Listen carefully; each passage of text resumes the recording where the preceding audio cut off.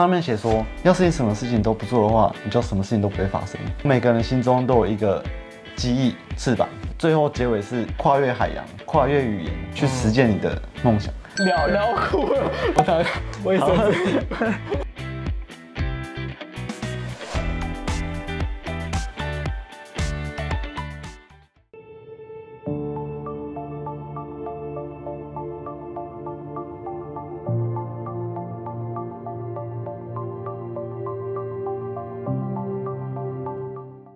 大家好，我是马之一。那今天呢，采访系列很荣幸又邀请到一位新朋友，叫做欧西卡。大家好，我是欧西卡。那欧西卡现在在日本大概住多久了？我是二零一八年来的。二零一八年来。那你平常也有在经营 YouTube 拍摄的影片，对不对？对，主要是跟日本女朋友，跟日本女朋友两个人在这种互动的感觉。台日情侣的日本生活分享，还有一些旅游，那很特别。那如果喜欢日本生活这些类型频道的朋友朋友呢，欢迎大家追踪一下欧西卡的频道，去看看他跟他女朋友在日本生活。那等一下呢，采访我就会跟欧西卡稍微聊聊他为什么会来到日本这边生活呢，以及他来到日本这边的经历又有怎么样的一些故事。所以喜欢今天内容的影片呢，大家一定要看到最后哦。最开始是我一个国中的好朋友，然后他的妹妹刚好是日文系的，从那时候开始，哎，觉得哎。会讲第二外文，呃，日语感觉很酷。所以你那个时候本科系不是念日文？我高中是读高职，然后商业类科的。大学是升到企业管理，跟日文都是没有相关的。那学习日文的话，你是怎么学习的？你在学校，还是说你是私下自学？我们科系有日文系的学，哎，有日文的选修。哦，我在台湾的时候，大概程度只有 N 五到 N 四，之后。来日本的时候，一开始是读语言学校，可以透露一下那个时候语言学校费用多少？一年好印象好像八十几万，嗯，日币。这单纯学费吗？还是说你的住宿都有的帮你弄好？这个单纯学费哦，单纯学费有蛮多观众他们未来有可能来到日本留学，因为你有语言学校的经历，你们可不可以跟大家稍微分享一下？说，比如说挑选语言学校的时候有没有一些？可能要注意的啊，或者是怎么样的可能会比较好一点。我觉得语言学校最主要的是还是要看自己的努力。与其说选学校，不如说选哪个地区最方便。比如说你选一个生活机能很方便的地方，附近什么东西都有，那你下课后你可以接受的东西就很多。你下课后也可以去打工，所以地地区也是蛮重要的。我觉得地区比较重要。那你那个时候是 N 四的程度去念，然后念一年之后。就直接日文就畅通无阻了。我那个时候是学了半年，我就我去考 N 二，结果没有想到就是让我不小心赛过啊。赛过，对，成成功可可这样。嗯，毕业之后的话，你当时在日本之后的一些经历是朝怎么样去发展？我第一年语言学校我考 N 二之后，我就马上报名。那个专门学校，那个是要 N A 以上的资格才可以报的就职专门班。哦，专门学校的话，等于算是他是念两年吗？对，但是我那科系比较特别，它是国际贸易科里面的就职专门的一个小班。又准备再进修两年，是有什么样的打算跟考量吗？一开始来语来日本语言学校就打算继续常住在这边。语言学校的时候一年而已，我怕我觉得我日文还没有到。那种可以在日本上班的程度，所以还是觉得拼命看那个就职班，嗯，因为他可以帮学生找工作，啊，他等于算是就是你在那边念完之后呢，他会有一些企业合作啊、辅导啊，你比较能够很正常的衔接到日本职场。而且他还有一个我觉得很重要的，还有一个实习课程。那在之前这个实习过程中，刚刚有说你在语言学校有没有一些打工的经历？我其实蛮做过蛮多打工的，因为我想多方尝试看看。我一开始来日本。第一天下飞机的时候，学校有学长来接。那一到机场遇到我们的时候，说：“哎，你要不要打工？” 直接问你要。语言学校一个好处就是学校会帮你介绍打工，有一类似一个公布栏的地方，然后里面会展很多打工的讯息。还有一次有机会是跟房东房东聊天的时候，嗯，然后因为那个时候刚来日本还不是很好，他以为我对观光有兴趣，然后他就要帮我介绍观光业的打工。然后我一开始听到的时候，我以为是比如说在旅行社里面，结果第一天他带我去的时候，发现是一个。导览，导览？是怎么样的导览？道顿河那边有一条河，嗯，对对对，然后上面一个很有名的游船，上面游船的导览。啊，就是上面的游船导览哦。对，所以等于说你的工作是你要坐在那个船上，然后跟就是游客一起渡过那个湖，然后就在上面解说说这些是什么东西。对对对，就是拿着麦克风，然后跟大家说这是什么景点。对，那个时候心情感觉如何？我觉得完蛋了。但是硬着头皮也只能上了。对，硬着头皮，因为那时候已经答应了。很幸运的是，那个公司会发一个算是台词嘛。对，台词，你就照着那个念就可以。对，一开始就是十倍的方式。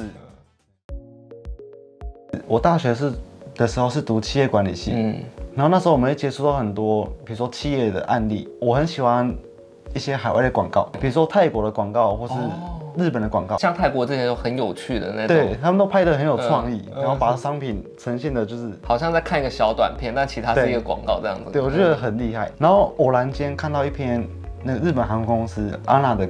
一件一张海报，上面写说，要是你什么事情都不做的话，你就什么事情都不会发生。每个人心中都有一个机翼翅膀，最后结尾是跨越海洋，跨越语言，去实践你的梦想。这段讲的真的很好，我听了有点鸡皮疙瘩。我对我真的被这语言深深感动到，我就觉得，哎，我将来一定要到海外试看看。那当时来日本的话，你有没有跟你家人讨论过？当初是他们是蛮反对的，因为毕竟是一个人到海外。刚刚没有。就稍微就是聊到说，今年年纪大概是几岁？今年二十七。那当时来日本是？我是当完兵来的啊，当完兵就过来了，二十二，那真的蛮年轻的。对，难怪你家人会有一些顾虑这样子。对对对，我那时候在台湾社会经历什么都还没有。当时你是怎么跟家人沟通这部分的呢？就慢慢被说服了。所以一开始的你的学校的费用还有。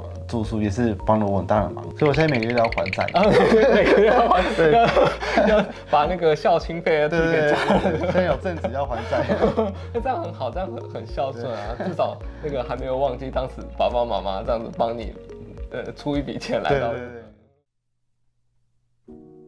那很多人来到日本生活啊，他们就会有一些生活上的烦恼。通常陷入到这种状况的时候，有些人就会想说。我不要在日本，我要回去了。那不知道你有没有这种经验？其实我觉得来海外生活最重要是你的抗压性，还有你的想法。你可能刚开始来日本的时候，你是因为喜欢日本，但是你可能时间待久了，你对日本喜欢这个心情慢慢降低之后，你就可能就开始哎觉得什么都不对。所以想你的想法心态是蛮重要的。但是你现在在日本生活的话，你有没有给自己一个明确的目标，说我要待到多久，或者是说我可能未来？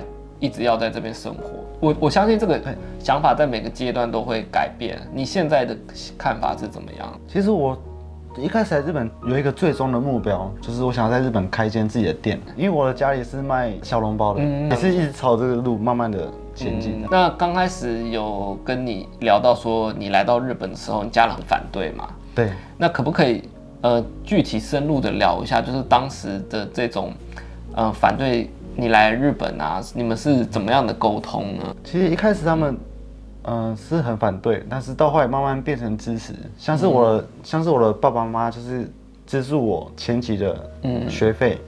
然后房租，然后其实最让我感动的是，我现在上班穿的西装都是我爷爷亲手做的。你阿公是做西装啊？对，阿公是做西装专门的啊，专专门的。对，应该也是老牌西装，老牌手工做，嗯，手工裁缝的这种西装。对，因为你要去日本，他做这个西装给你嘛。对他特制帮我定做好几套西装。对他虽然就是表面上有点反对，不希望我来，但其实还是默默的帮我把西装做好。我觉得这个是。很感动。但你那个时候跟你阿公在聊的时候，他他不希望你来，他有没有跟你讲一些是什么样的原因呢？等下可能是半开半开玩笑的说，哎，不要跑这么远啊，在家附近找工作，然后找个台湾人结婚就好了。哦，对，他希望可能希望你多陪陪他这样。对，但是他虽然不希望你去日本，就希望你留在身边，但他还是。这个默默的帮你去做了一套西装，然后祝福你未来在日本这样子，对，可以成功。所以那件西装意义对你来说很大。对，比如说上班的时候可能有挫折，可能看看一下我的西装，就觉得哎，背后鼓励让在支撑着我。对，你现在上班都会穿那西装？对，都穿爷爷的西装。都穿爷爷的西装，那等于算是 那等于算是一个精神支柱。对，在那边，嗯，我觉得蛮感人的。你阿公一定很想很想念你吧？希望你可以。多回回来台湾这样子，你要不要跟你阿公讲讲讲几句话？你有没有什么话要跟阿公讲？可以透过影片，然后你你把这个影片给他看嘛，然后你可以跟他说一下你现在在日本生活的感觉是怎么样。阿公，我现在在日本过得就是很好，然后西装也是，就是很支持我的一个、嗯，一个力量，对。哎，这这这聊聊哭了，我操，卫生纸。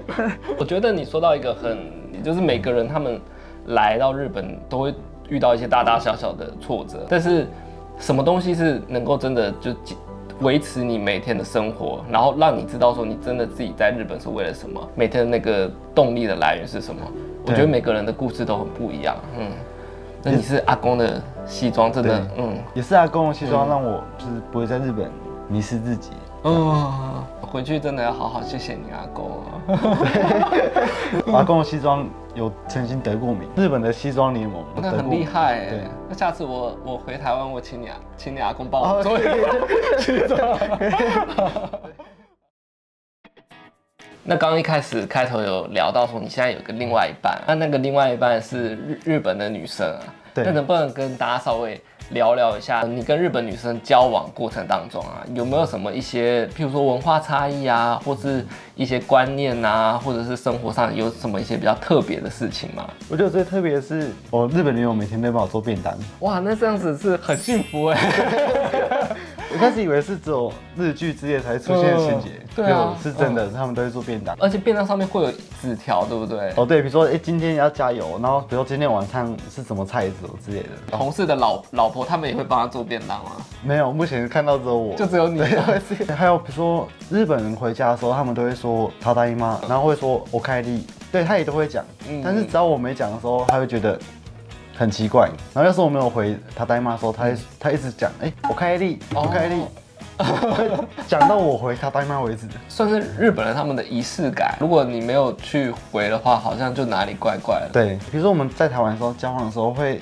很快就介绍给家人，但是日本人要介绍给家人的时候，好像通常都是论要论及婚嫁的时候，哦，就是变得有很严肃的这种感觉。像是我女朋友姐姐，她的男朋友介绍给她家人的时候是要结婚的那时候，但是这样子，家人他怎么知道说这个这个对象好不好？呢？我认识你的时候已经要结婚了，对，所以你跟你女朋友目前还也还没有到那个见家长的那一对，但是他有跟他姐姐讲，哦，就大概知道有你一个这样子的人，但实际上没有没有这样子见面。对，嗯而且我又是一个外国人，感觉到时候他们会很震惊。哦日本的男女朋友啊，比较少会去跟别的男女朋友互相认识介绍。对，因为我有问过，因为他有一个好朋友，大学朋友、也是有男朋友，然后我问过，哎、要不要约一起，就是两对情侣一起出去玩？然后他跟我说，哎、这样很奇怪吧？因为我们四个人，只有他跟他朋友认识。会在意说彼此之间的一些关系啊，会不会有尴尬的时候发生对这个这样子？那来聊聊，就是你跟你女朋友之间这种男女角色之间的分配，